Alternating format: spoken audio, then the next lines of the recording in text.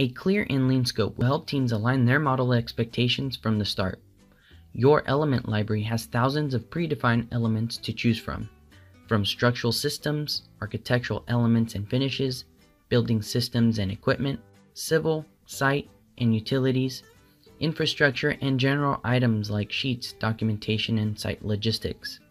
Drag and drop within the blue drop zone to import a group each group contains elements that make up these systems to help you define your scope no matter the project type. If you're looking for something more project specific, you can create your own custom element group.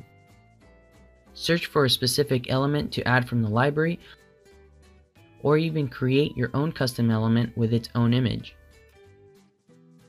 Click the crop and remove background feature and an AI algorithm will help identify the object and remove the background automatically. Now that your scope list is ready, click anywhere within the scope grid to start assigning your requirements.